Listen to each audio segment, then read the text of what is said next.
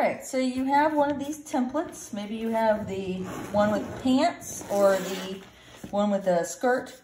I'm gonna just kind of show you what you're supposed to do with these so that if you choose this assignment, you're not confused uh, in any way. So um, I like to call them um, jacket or pants because you can see if you went down like this and did like this, you could draw a long jacket, which wouldn't necessarily be a girl.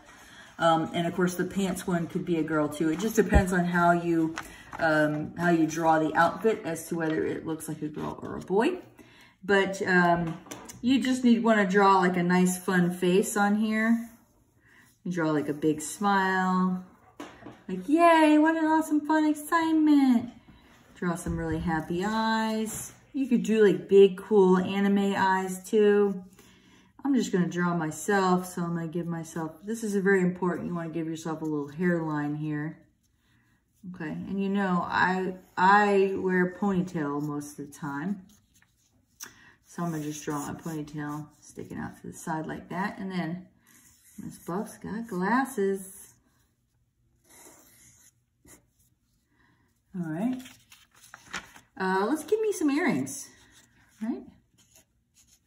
Look at that. Boop, boop. Um, so I think I'll do like a little, um, like kind of a dress shirt thing.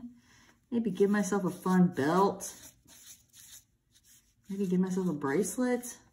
Maybe a watch.